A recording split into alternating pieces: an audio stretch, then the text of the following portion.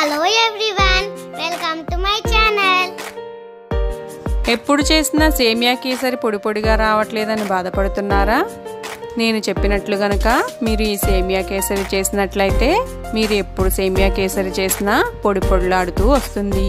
ఇలా చేసుకుంటే చాలా టేస్టీగా ఉంటుంది. నేను చెప్పిన కొలతలతో మీరు కూడా ఒకసారి దీన్ని తప్పకుండా ట్రై చేసి చూడండి. ఇంకెందుకు ఆలస్యం?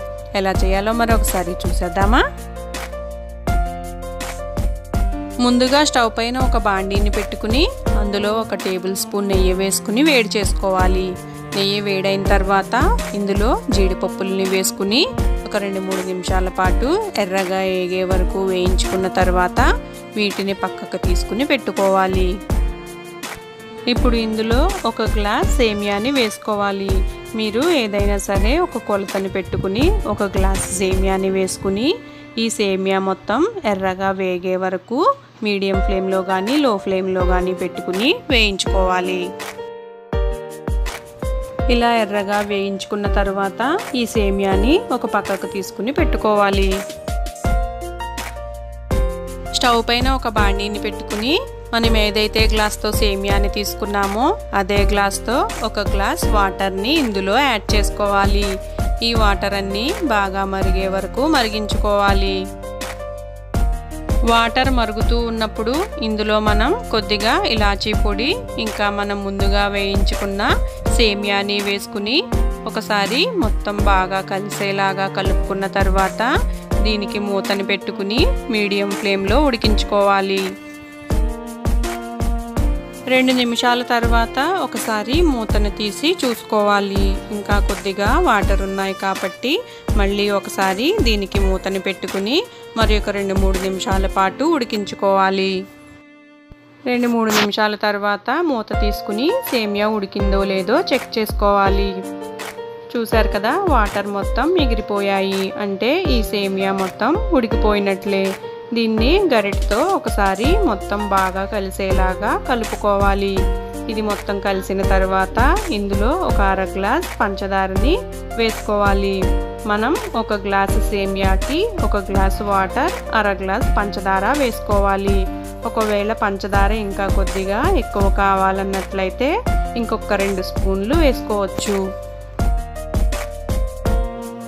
పంచదార మొత్తం బాగా కలిసేలాగా ఒకసారి కలుపుకున్న తర్వాత ఇందులో ఇంకొక టేబుల్ స్పూన్ నెయ్యిని వేసుకోవాలి. ఈ నెయ్యి కూడా మొత్తం బాగా కలిసేలాగా ఒకసారి కలుపుకుని దీనికి మూతను పెట్టుకుని మీడియం ఫ్లేమ్లో ఉడికించుకోవాలి. మధ్యలో ఒకసారి మూతని తీసి చెక్ చేసుకోవాలి. చూశారు కదా పంచదార మొత్తం కరిగిపోయి వాటర్ లాగా అయ్యింది ఇప్పుడు ఈ వాటర్ మొత్తం మిగిలిపోయే వరకు దీనిని ఉడికించుకోవాలి. రెండు మూడు నిమిషాల తర్వాత మూతను తీసుకుని ఒకసారి చెక్ చేసుకోవాలి. చూసారు కదా ఈ పంచదార వాటర్ మొత్తం ఎగిరిపోయాయి అంటే ఇది ఇంకా రెడీ అయిపోయినట్లే. ఇప్పుడు ఇందులో మనం ముందుగా వేయించుకున్న జీడిపప్పును వేసుకుని మొత్తం ఒకసారి బాగా కలిసేలాగా కలుపుకున్న తర్వాత స్టవ్ని ఆఫ్ చేసుకోవాలి. చూశారు కదా సేమియా కేసరి ఎంత పొడి పొడిగా వస్తుందో? చల్లారిన తర్వాత ఇది ఇంకా బాగా పొడిగా తయారవుతుంది.